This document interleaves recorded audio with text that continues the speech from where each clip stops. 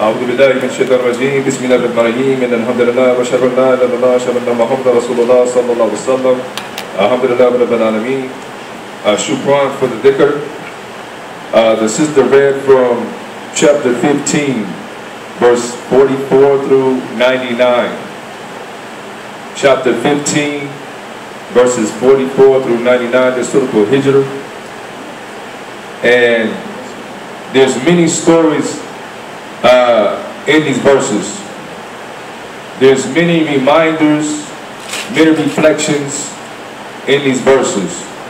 It's about 50 something ayahs, but it's really not that long because the ayahs are not that long. But there's many things, many wisdoms, many knowledges in these stories. And one of the things that Allah SWT said that the Quran is a dhikr, it is a reminder. And it went through about four stories four different prophets, Abraham, Lot, Shu'aib, Thamud. It talked about the people of Hijr. It talked about the people of old. And Allah subhanahu wa ta'ala always talks about the people of old to remind us. He said, and remember, and reflect. And remember when these things were happening. And he spoke a lot about Lot. We'll talk about that in a minute. But one of the things that was emphasized in the footnotes is that Allah's rahmah before his retribution his mercy before his wrath. When he came to the people of Lot, when he came to Ibrahim alayhi salam, it said that malaika, the angel came to Ibrahim alayhi salam, before he gave him the glad tidings of the retribution or the punishment that was coming to the people of Lot, he first gave him the glad tidings of a son to come. Showing that his mercy comes before his wrath. And this is something that Allah says through the Prophet Muhammad sallallahu alaihi wasallam that written on the throne of Allah subhanahu he says, my mercy is over my wrath. My mercy is over my wrath. Then we learn from the other hadiths about Allah's rahmah. We talked about this, that Allah subhanahu said that he created rahmah and he divided it into a hundred parts. One part to human beings and then he left the other 99 for him. For surely his rahmah is, is we can't even understand his rahmah. Anta arhamur rahimin. He is the most merciful of those who show mercy. So one of the wisdoms or one of the things that was expressed in these stories is that Allah's rahmah, it always precedes his uh, retribution. Even in the time of, we'll talk about Lot, because they talked a lot about Lot, that even though these people were burning, those who don't know about the story of Lot, this is the people of Sodom and Gomorrah. And in the time of Sodom and Gomorrah, they were doing a thing that was never even heard of before in history. Period. Allah said this is something that was never heard of. So these were the first people that did this. And it said that the men, they were yearning and burning in lust for men. They was doing this. They was hanging out on the highways and byways and hijacking people and molesting them and all kind of stuff. This is in the tafsir. And also in the tafsir that Shaitan is the one who came up with this type of act. He was the one that initiated this. Shaitan. All filthy and illicit things, Shaitan is the one that initiated these things. Okay? So we talked about these people of Lot and how uh, they were engaged and involved. The whole city, okay, were involved in this type of fasha or munkar, this illicit acts of the men who were acting in faggotry and homosexuality and whatnot. Same thing we have going on today. America is man to do what you like. Homosexuality, man, you better not put your hands on the faggot here in America, man, you will go to jail. They got more rights than heterosexuals. Now on TV, it's nothing about homosexuality on TV. Even on the, uh, what do they call that, soap operas. I was in the hospital the other day. They said, oh, did you see they was in the hospital laying on? I'm like, who was it? On the, on the soap opera now? They advocated on soap operas, man on man. One guy was in the hospital room and he was on the bed and the doctor got in the bed with him. This was on a soap opera. I said, are you serious? On a soap opera on TV.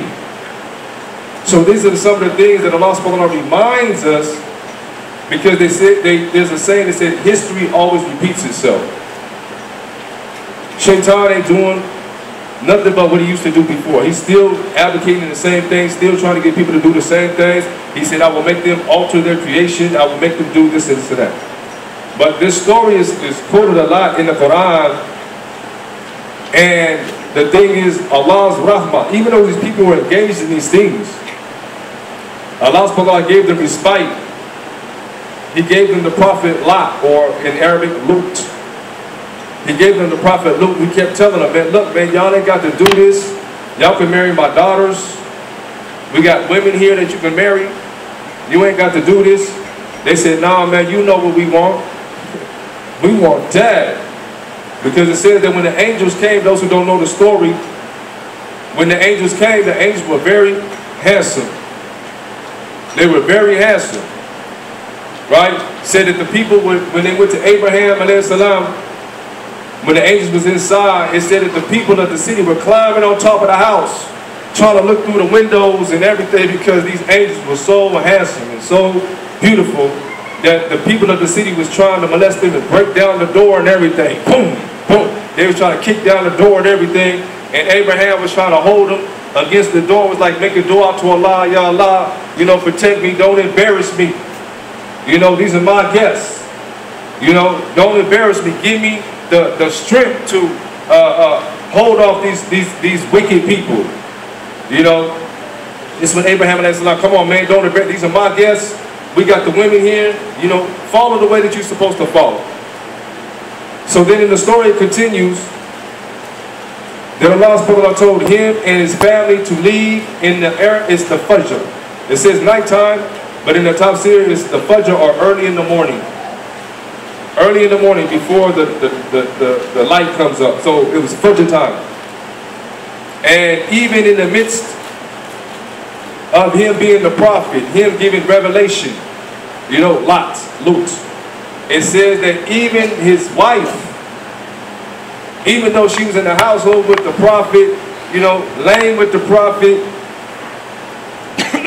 seeing the revelations of her husband, seeing his righteousness, praying, she still turned back and looked.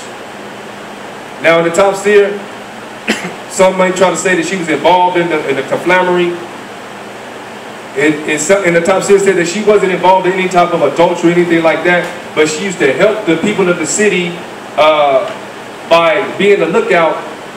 If there was any people that come into the to the to the to the city, any new men that came into the city, she would inform the people. Yeah, they got another one. He coming, and she would inform them of information. but according to the tafsir, she was not involved in the, any adultery, anything like that but she was involved in helping her people. This is a reminder and a reflection. That's why Allah spoke said, and look into these stories and, and be reminded. We cannot even help certain people that are involved in certain illicit acts. When we know the truth, we have to please Allah subhanahu We know the hadith, those who please Allah the displeasure of man, Allah will be pleased with you and make the people pleased with you. But those who displease Allah at the pleasure of man, meaning they please the people. Well, that's my people. You know, these are my folks. This is my mama. This is my daddy. These are my cousins. These are my brothers. These are my mothers. I'm going to help them out because I got love for them. Allah subhanahu says if we please the people at the displeasure of Allah, ain't nothing, nothing wrong with being nice and kind to your parents and whatnot, even if they're non-Muslim. To the contrary, it was mandatory that we show kindness to our family members even if they're not Muslim, Allah subhanahu unless they commit you or ask you to do shirk. Okay? So this sister, who was the wife of the Prophet Lot, she turned, and it said that she turned back when Allah had commanded him, and don't look back. Don't even look back. Allah was to destroy them with a destruction that he never sent anybody else. And he said it came with the Sijil. The Sijil was the pebbles, or the rocks. It said in the top city had the name of everybody on each one of the birds that came and started throwing the pebbles, and everybody was, you know what I'm saying, destroyed. Okay? The fire and so forth and so on. Allah flipped and turned the city upside down, the Dead Sea and all of that, where there's salt in it, floating and all this other stuff. But Allah said that this is a sign for us. And even after these signs, it's an amazement how the people of today, they still want to go back to the ways of Sodom and Gomorrah. Well, God loves everybody. Well, my God is a forgiving God. Yes, he is. but he also tells us that he's very just. Okay, he's very just, but he is merciful. He is merciful, but at the same time, he's very just. And Allah subhanahu gives us these examples, inshallah, so that we can reflect. One, we have to be very patient, and this is also something uh, that we must be patient for Allah subhanahu because Allah subhanahu is in control of all things. Even though we may be surrounded by a lot of things that are wrong, we must be patient like the prophets were patient. We have to be patient like all the other prophets were patient. Noah was patient. 900 some years was giving dawah. Okay? The people of Thamud and Shu'aib, he was patient. He used to warn them. They used to make fun of him. They used to ridicule him. Even the Prophet Muhammad sallallahu. And even when Allah subhanahu wa ta'ala, after their patience, Allah subhanahu wa ta'ala, as the sister said, his retribution is very swift. Now it may not be on the time that we want. We might want it to come right now. But when it comes, it's swift. Like at the time of uh, the people of Shu'aib, Thamud, and it said that he warned them, right? Or even in the time of the, the she-camel, he warned them. And when they did exactly what he told them not to do, they killed the, the she-camel, Allah subhanahu wa whooped them very swiftly. Seven days and seven nights of nothing but destruction. Whooped them. Right? So we can never think that Allah subhanahu wa ta'ala don't see everything. Allah sees everything. Allah is in control of everything. You know, our job is to be patient and understand that Allah subhanahu wa ta'ala is in control of everything. As it said, as the sister read in the footnotes, just because we may see things in uh, the punishment may, may not come right then and there, or we, we're surrounded by certain things, don't think that it's something wrong, maybe with the people, maybe something wrong within ourselves, if we don't understand that Allah subhanahu wa ta'ala is in control of everything. Right? It may be a test for us to see how we will act during these trials and tribulations. The test of those who are surrounded by these trials and tribulations is patience. That's the test. The Prophet Muhammad wasallam who was the prophet, who was the Rasul, who, who had miracles and everything. They used to choke the Prophet Muhammad sallallahu alaihi wasallam. He used to make salat and they used to throw things on him. They used to, the camel intestine, they could throw it on top of him. They used to kick him and ridicule him, boycott him and all of these things. They used to talk bad about him. They dirty macked him. They character assassinated. They lied on him. They said he had seizures. Right? They said all of these things. They try to call him, you know, a pedophile and all of all these things, and this is the Prophet Muhammad sallallahu alaihi So the thing is, who are we? Who are we? We may go through certain things and whatnot. Man, we ain't nothing compared to the Prophet sallallahu We ain't nothing compared to the Prophet Job. He went through 19 years of fitna just because Shaitan wanted to test him. Right? And he lost everything. Not because he did something wrong, but in order to test him and to elevate him and rank. So when we get surrounded by fitnas, all of this is the qadr of Allah. All of this is the decree of Allah subhanahu It's something that's already been written. We may not understand it, right? And maybe not for us to understand. The thing is, how do we deal with it? Right? We may be surrounded by these things. How do we deal with it? If we act a fool with it, maybe we, we didn't pass the test. If we remain patient in it and understand that Allah subhanahu is in control of all things, then that is the test and that is the success. Also in these stories is the understanding of Allah's plan.